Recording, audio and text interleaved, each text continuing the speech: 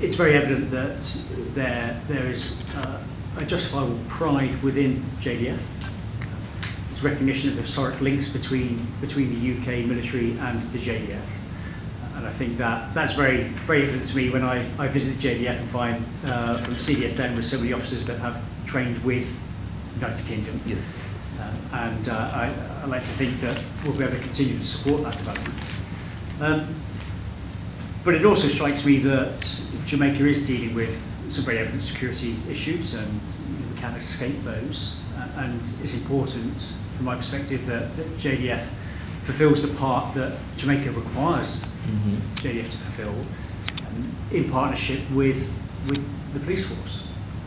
And so it is a, you know, I think when dealing with these security issues, there's a balance between policing and where then you need to use your military forces. Uh, and of course, you know, the, the policing of our nations, uh, as in the UK, you know, that's a primary responsibility of the police forces. And, and if we're using our military in support of those police forces, then, then you know, it's with a clear operational objective uh, based on the security requirements.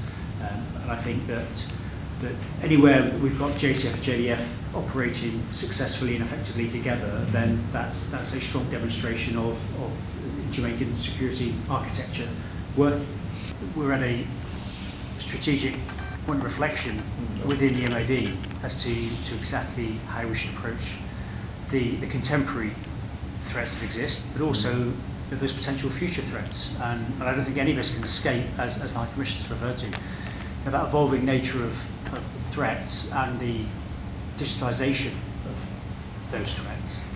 Um, so I think it's fair to say that as, as armed forces ourselves in the UK, we're, we're looking at how we deal with that ourselves. I think those developments within our forces will, will develop the way in which we engage with partners. Um, but I think the important thing to stress is that, that my dialogue with Jamaican Defence Force, with Jamaica, within the Caribbean, is about properly understanding those threats that are a concern to our partners here, and then identifying through discussion with the UK about how we may support in those areas. Um, I'm not in a position now to say that we are able to support in one area or another, mm -hmm. only that we will be having a continual dialogue in the light of the strategic review that's being, being undertaken about the, the engagement from the UK Ministry of Defence with our partners over here. Um, that, that could be in any number of areas.